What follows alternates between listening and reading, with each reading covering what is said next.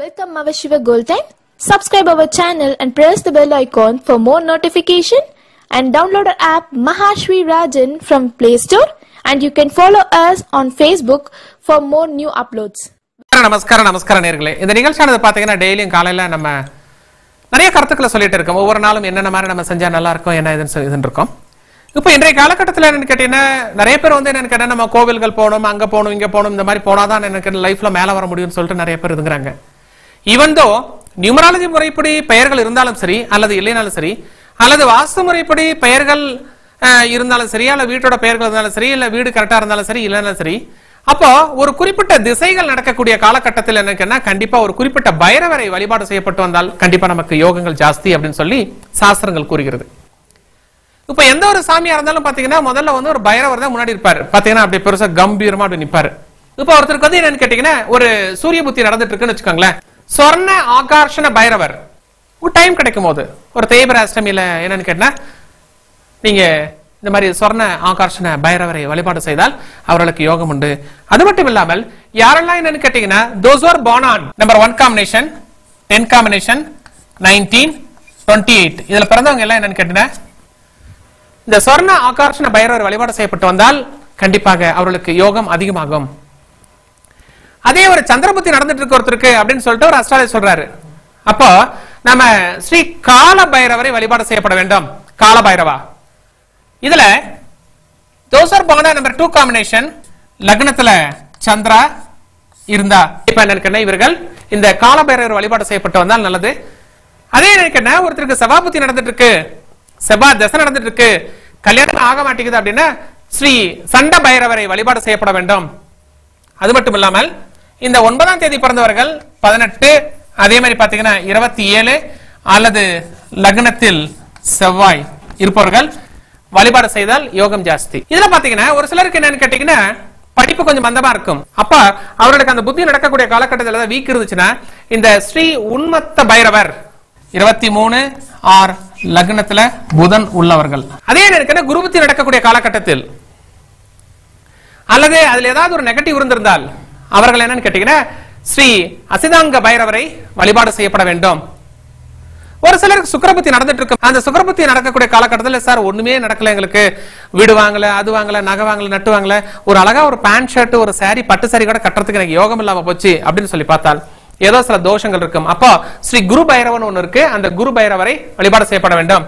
இதுல பர்டிகுலர் என்னன்னு கேட்டீங்கன்னா ஆறாம் நம்பர்ல பிறந்தவங்க பதினஞ்சுல இருபத்தி நாலுல பிறந்தவங்க ஆர் லக்னத்துல சுக்ரா ஆர் சுக்ரபுத்தி.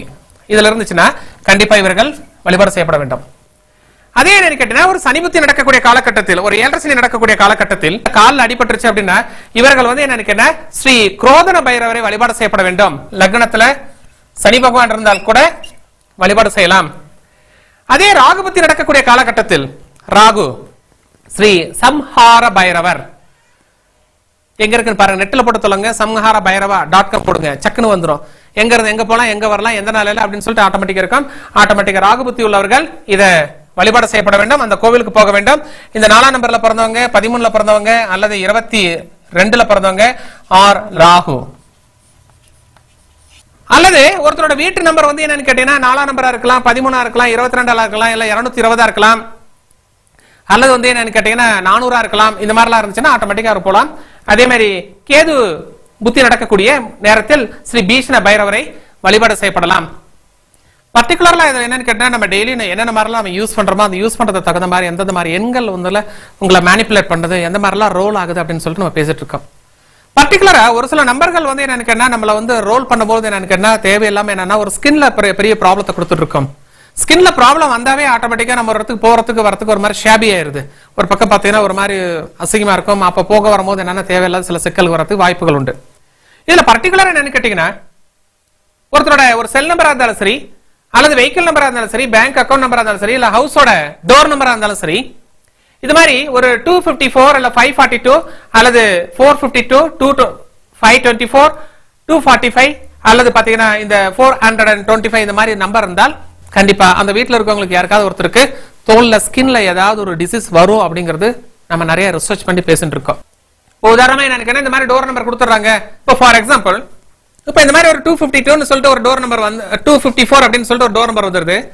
இதுக்கு கீழே ஏதாவது ஒரு ஒரு name so this is example இப்போ இந்த மாதிரி இருக்குன்னா ஃபார் எக்ஸாம்பிள் ஒரு டூ ஃபிஃப்டி ஃபோர் ஒரு அபக்ஸ் அப்படிங்கிற மாதிரி நாம நியூமராலஜி பிரகாரம் ஒரு ஃப்ரேம் பண்ணி ஒரு போர்டு அப்படி ஃபிக்ஸ் பண்ணிடுறோம் வீட்டில் அப்போ போஸ்டர்ல வரும்போது என்னன்னு கேட்டா நம்ம என்ன பண்ணுவோம் டூ ஃபிஃப்டி ஃபோர் அபக்ஸ் இல்ல ஏதோ ஒரு பேரு. விநாயகா இல்ல அனுகிரகா இல்ல கோல்டு சம்திங் லைக் தட் அது மாதிரி ஒரு ஃப்ரேம் பண்ணி நம்ம வச்சுட்டோம் அப்படின்னா ஆட்டோமேட்டிக்கா இந்த ப்ராப்ளத்துல இருந்து வெளியில வரலாம் அப்படின்னு சொல்லிட்டு ஒரு கணக்கு இருக்கு.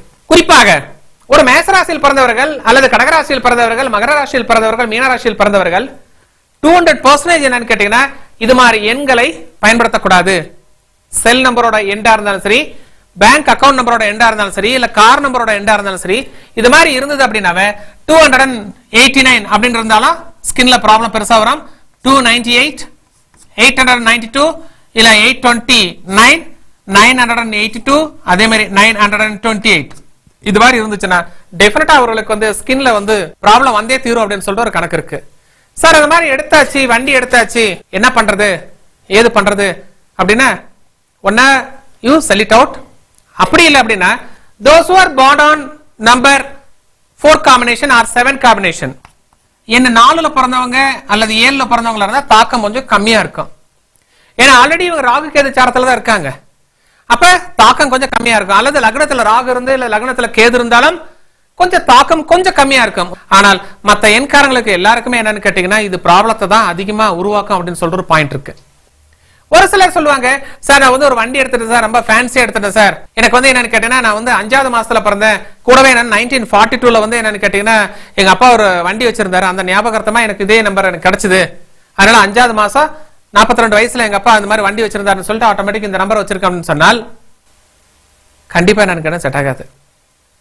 காரணம் என்னன்னு கேட்டீங்கன்னா இந்த காம்பினேஷன் ஒட்டுக்க அப்படி சேர்ந்ததுனாவே எனக்கு என்ன ஆட்டோமேட்டிக் உங்களுக்கு இந்த தோல்ல பிரச்சனை கொடுக்கும். இப்படி ஒவ்வொரு எண்களும் என்னன்னு கேட்டீங்கன்னா அதோட வேலையை அது பாட்டுக செஞ்சுக்கிட்டே தான் இருக்கும். ஒரு வீட்டுக்கு நம்பர் இருக்குன்னா அதுக்கு தகுந்த மாதிரி இந்த மாதிரி நம்பர் வந்துட்டால் கூட அதுக்கு தகுந்த மாதிரி ஏதோ ஒரு பேரை வச்சு கொஞ்சம் நம்ம நியூட்ரலைஸ் பண்ணிக்கணும். அந்த மாதிரி செஞ்சாலும் எனக்கு என்ன இந்த மாதிரி ஸ்கின் ப்ராப்ளத்துல இருந்து வெளியில வரலாம். அதனால ஒவ்வொரு நாளும் புதிய புதிய கருத்துக்களை கொடுத்துட்டே இருக்கும். பாருங்க பார்த்து நீங்க யூஸ் பண்ணி பாருங்க. ரொம்ப நல்லா இருக்கும். மீண்டும் நாளை சந்திப்போம். நன்றி. வணக்கம்.